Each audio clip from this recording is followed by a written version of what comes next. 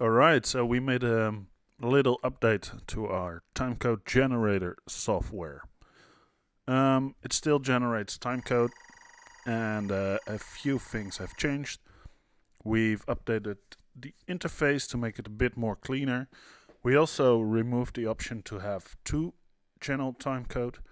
We only serve one channel now, but um, I'm gonna do a revamp of all the features now, so I'm gonna show you what's where. So we still have the play and stop button. Play is to start playing, stop is to reset the clock, so you can also pause.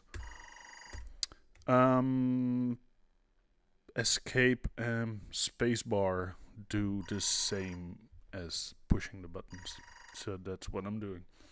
Up here you can set the frame rate. Uh, so that's 23 point something, uh, 24, 25, 29, 97. That's drop frame to be clear, and we have 30 FPS. So switching between those is instant. Um, so that's easy. Um, one big change is the offset. Uh, there used to be like a secondary offset clock. Now you can just edit the time in your clock. So if you want to have like a 10 minute offset, boom, there you go. Want to start at 20 hours, 22. There you have it.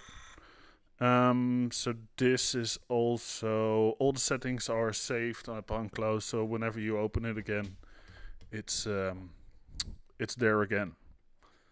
Um, so that has changed. Uh, the other thing is uh, you can now uh, select the output over here. So whether you want to have output one or two, so that's the channel you want to use.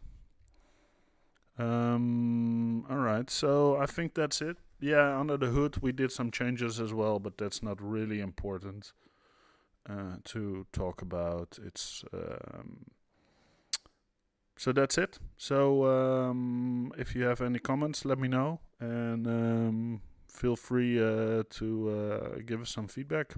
I hope you enjoyed it.